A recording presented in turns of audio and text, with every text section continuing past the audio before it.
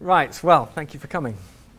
Um, so in the last talk, we just we looked at the big picture of some of the stuff that's going on. We looked at this uh, exponential emissions curve, which humankind has shown no, evidence, no ability whatsoever to dent, and we looked at the global dynamics behind that. And we looked at the fact that we really need to stay within a, um, not go higher than two degrees, that's the red charts at the top were showing us that, and we looked at how much fuel there is in the ground compared to the amount we can burn. And we looked at the balloon squeezing ripple, uh, rebound effects and how piecemeal actions in any one part of the world or amongst any one group of individuals don't solve the problem. So what's needed is a, is a global intervention to leave enough fuel in the ground. And it's needed urgently because we need our emissions curve to do something like this. Uh, and we looked at, briefly at a whole land and food um, question. Uh, and we looked at the fact that renewables, whilst they're really, really important, won't on their own sort the problem out for us. Uh, and there we go, got my clicker. So, so, okay, so what next? The question is what next? So the first thing, and this is a must-have, is that we need a global constraint on fuel coming out of the ground. And it doesn't matter how difficult you think it is to arrive at that deal by which the world agrees to leave the vast, vast majority of the, of the fuel in the ground quickly. Doesn't matter how hard you think that is, we have to have it. And focusing on that without distraction is really, really important for us. And I'll just mention that we've got some talks coming up in, uh, leading up to Paris, to, uh, and those Paris talks are a landmark moment and it would be very good if we could get a long way uh, at those. Okay, so in one sense, a lot of things track through to, okay, what can I do? Because all of us at the individual level, however important our, and powerful our, our professional roles are, we're all specks in the global system. So the question is, well, what can any of us do that actually helps to create the conditions under which the world agrees to leave the fuel in the ground?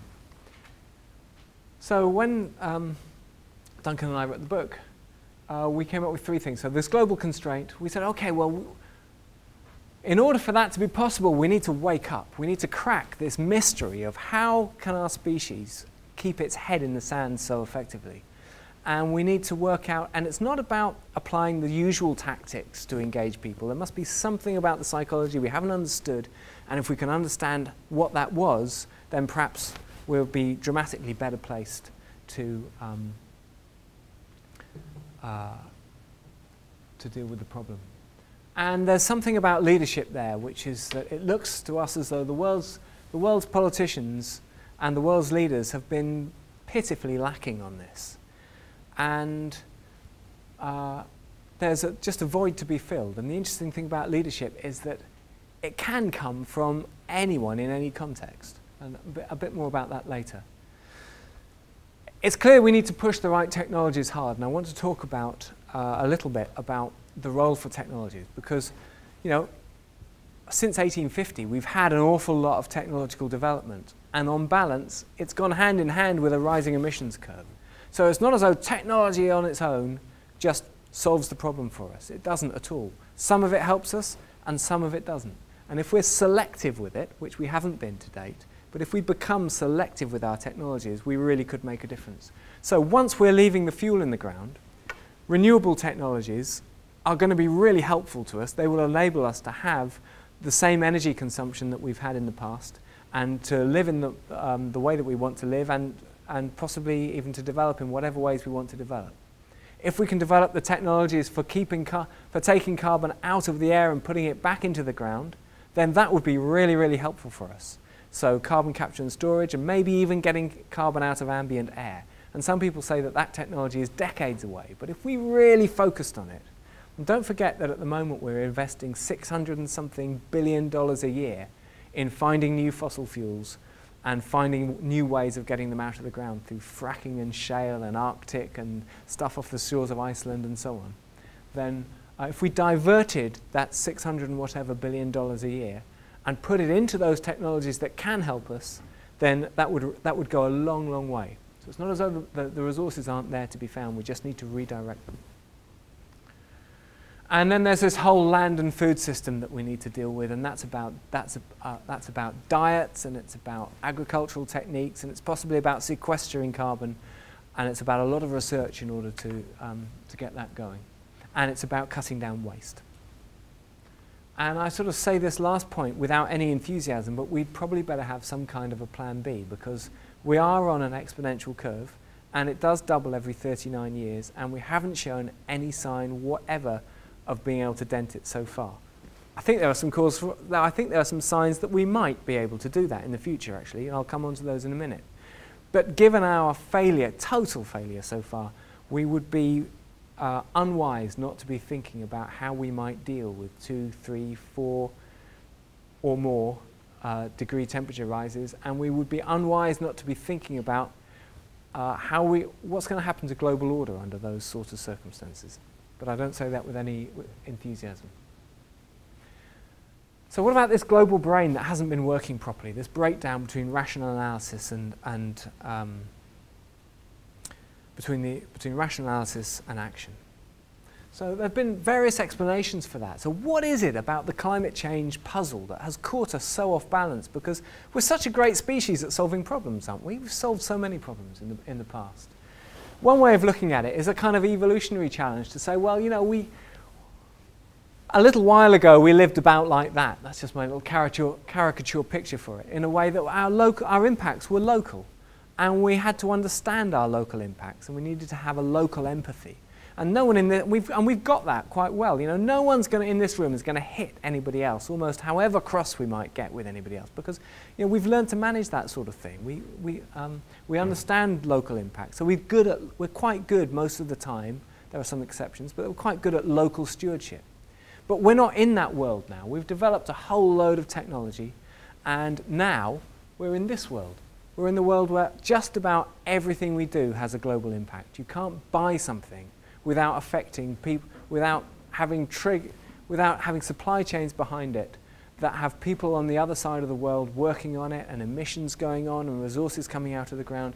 Nothing we do in daily life virtually doesn't have a global impact. So, but have we got what we need to go with that, which is the global awareness and the global empathy and the global stewardship? Or is there a kind of piece of human evolution that hasn't caught up yet We've done all this technological evolution, and now we're in catch up on the whole other side of human evolution. So maybe it's like this. Maybe you know we've got all this physical capability, we've developed this side of ourselves, and now we've got to massively catch up on our stewardship capabilities um, as, as fast as we can. So this question, you know, why has the evidence been ignored so long? I'll just go through some of the explanations for that and some of the things we might do about it. So one is it's too complex. You know, we're dealing with this, this climate change thing. It's such a complex issue, and it's about this. Um, it's about this abstract gas that you can't even see. We're told we should care about it, and uh, we're told we should care about it because sometime in the future it's going to hit us in some abstract way that we don't properly understand. It's full of uncertainty, and somehow we're expected to engage with that, not just at a cerebral level, but at an actual emotional level. And we don't yet have the skills for doing that.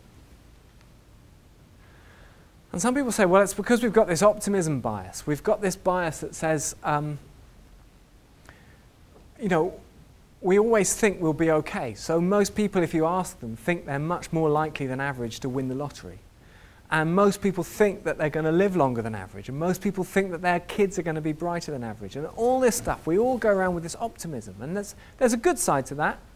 There is a very good side to that. And there's also maybe a dangerous side to it that we think we're going to be all right. And I've heard climate deniers say, look, we, should, we don't have to worry about this problem because our species will be fine because we've always been fine. Which is interesting when you think about it, because if you think about it, every being that's ever existed from any species on the planet Earth could always say that and about its species until such time as it went extinct. You know, it had always survived everything that had ever been thrown at it. So it's a kind of a very meaningless thing for a living being to ever say. Um, but we've got this optimism bias, which we need to be selective with and cautious with.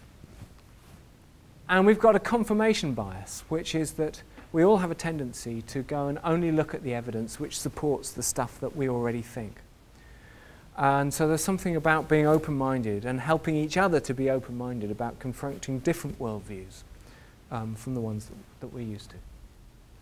And some people frame it up as a bigger than self problem. The trouble with saving your own carbon footprint is that you save a few tons of carbon, and that doesn't really affect your own, your own climate very much.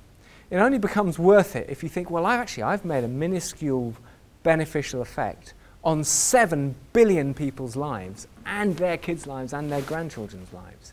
And when you scale it up in that way, which is a very abstract piece of thinking required to do that, it suddenly becomes incredibly worthwhile. But we need to empathize, we need to care about the minuscule differences we make about people on, to people on the other side of the world who are never going to walk up to us and personally shake us by the hand and say, God, thanks very much for doing that. And somehow we need to tune into that. I think my experience of this is that actually we all do when we stop to think about it a bit more. And I, am the same. The less I think about it, the more I ignore it. And if I, the more I stop to think about it, the more I kind of tune into it. And collectively, we need to help each other to get better at that. Too much vested interest is a very practical financial thing about the, the, the money in the fossil fuel industry.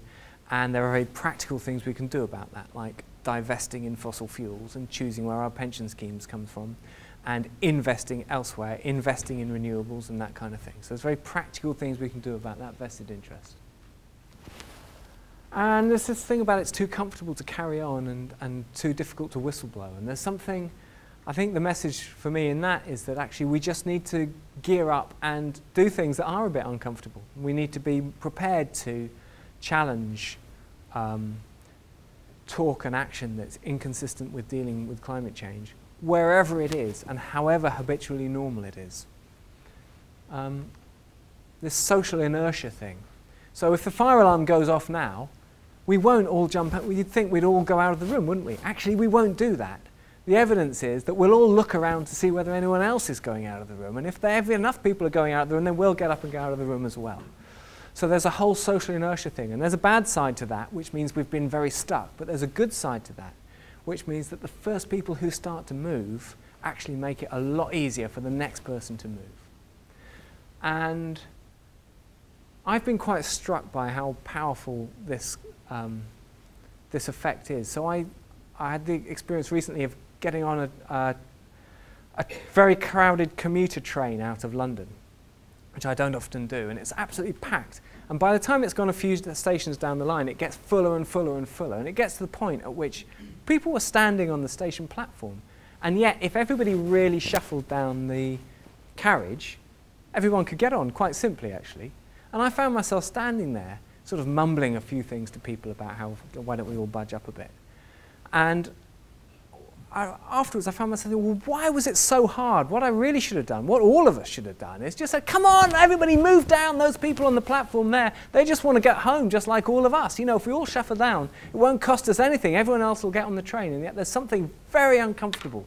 And some people are better at that than me at doing that kind of thing. There's something very uncomfortable about standing up and, and you know, standing up for uh, what you know is the right thing to happen just because other people aren't doing that. And we all need to just, those of us who care about climate change, just need to gear up and be bolder at that. Uh, I think this lack of alternative vision has been a massive stumbling block because all the careful scientists and politicians who've got onto climate change have spent all their energy uh, trying to get the science across, trying to um, do battle with climate denial and quite mischievous vest, um, vested interest that has been trying to very successfully stirring up confusion around basic things like the science. And that hasn't left any energy left for looking at what the alternatives are. Because it's not as though a low carbon future is a doom and gloom future. Um, and particularly, I mean, in, in, in somewhere like Iceland, that's very easy to see actually. There's a great opportunity for you in a, a low carbon world, and you guys would be, um, you guys would be in a great position.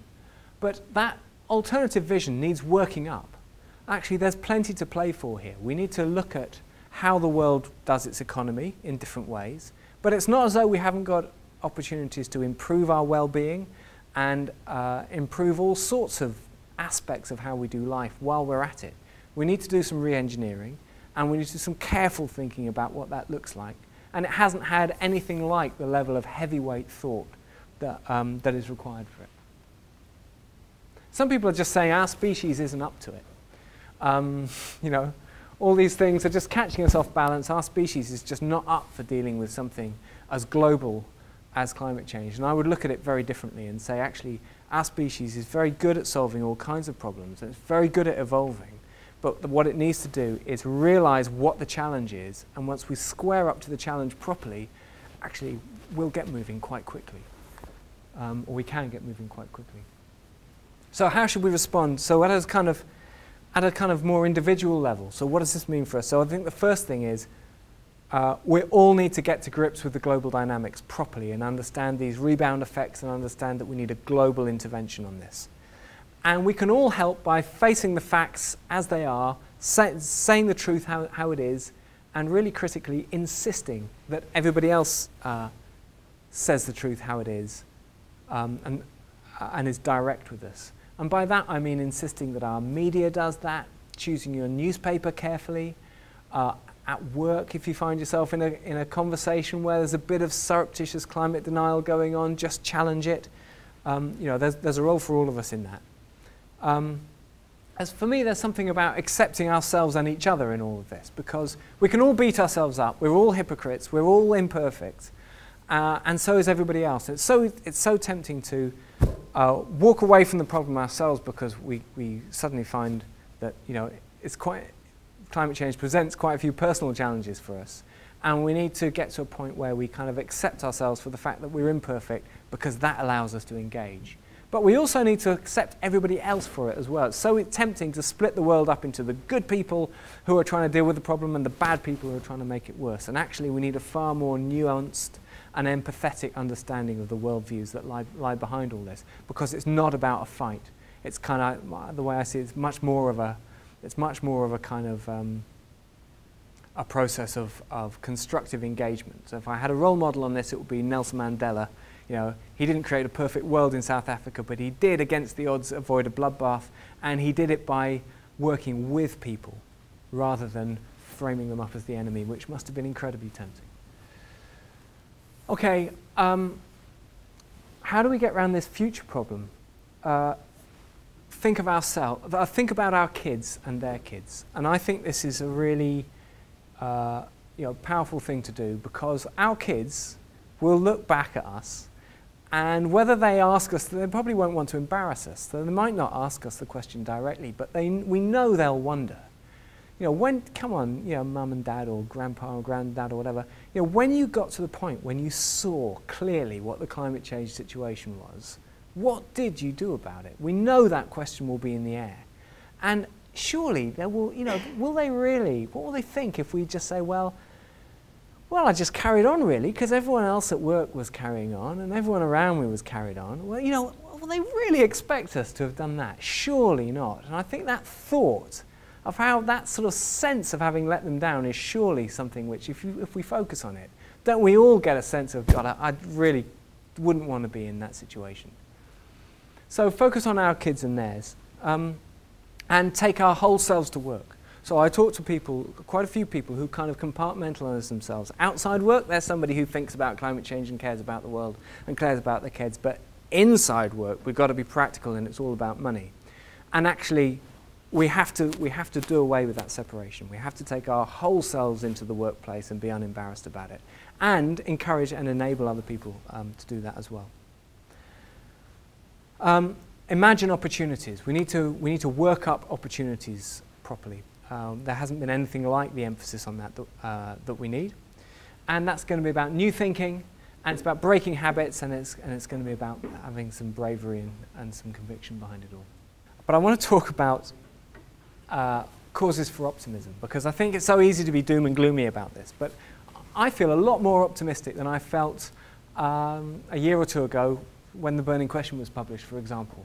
So when the Burning Question came out, I was saying, look, I am not going to spend the next five years complaining that nobody is listening because it really felt as though the world just wasn't listening to basic evidence. Now it feels as though the world is beginning to listen to that evidence. So the US-China deal that's come out recently, we need a lot more than that. And i have got some slides in a minute to show you how close or how far that takes us. But uh, it's a lot more optimistic than the kind of talk that was around even just a couple of years ago. And I work with some businesses, you know, quite big businesses, who are getting it that a carbon constrained world could be a business opportunity for them. These multi billion dollar businesses who are, getting, who are starting to understand that. For me, that's headway. And the need to leave the fuel in the ground is actually quite widely accepted now. And a few years ago, it, it wasn't at all. And with that comes signs now of vulnerability in those fossil fuel assets. Well, maybe they're going to collapse. Wouldn't that be fantastic? You know, so there are signs of things happening. And the, but the biggest thing that makes me optimistic is that we know from, from history that tipping points can happen really, really fast. You can have a situation where that social inertia feels so locked in the whole economic system, the way we're doing life, the way the fuel's coming out of the ground feels so locked in and nobody's listening and we feel as though we're just banging our heads against the wall. And actually, then you start to see a few little cracks like the ones that I've outlined here. And it could be just a very small space of time between those cracks really widening up and suddenly there's a cultural change, an economic change, a political change, and the whole thing's happening at once. And the next thing we know, the whole world is scrambling for a low carbon world. And I actually think you know, that could be a very fast process from where we are now um, you know, over the next you know, maybe even year or two. We don't know, but the harder we push, the greater the chances of it. I'm just going to show you quickly what I think about the, about the US carbon deal. So, so they've put a few pledges on the table, and the, uh, the top line there is the trajectory we're on for global emissions up to 1830. And if, this is my just rough sketches, if the US and China and the EU all kept to their pledges, which is a big if, and if the rest of the world followed suit and mirrored the kind of average of EU, China, and the US, which is again a big ask because it means we've got to get Russia and the Middle East and all sorts on board and everybody carried on their trajectories through to 1830, we'd be on that blue line there, which has deviated from the exponential curve, which is a breakthrough because we've never managed to do that before, so it's a landmark moment. Now, it's clearly not enough. And if you look at the cumulative emissions, the cumulative emissions looks like this. By 1830, there's virtually no change whatsoever. So you can see how inadequate what's on the table is at the moment, even if the rest of the world came into the fold. However, have a look at these next graphs. What if everybody agreed to twice as much? By which I mean China agreeing to um, cut its emissions growth by twice the rate that uh, would put it on the trajectories I've shown so far, and the EU and the US doubling the carbon cuts that they're saying they're going to do, and the rest of the world doing all of that. And suddenly, you'd end up with trajectories that look like that. This is the one for the whole world. And I've drawn it now up to 1850, so you can really see uh, what happens. And that's the cumulative curve. And it really is, by, by sorry, by 2050, by 2050, uh, it really is starting to uh, top out.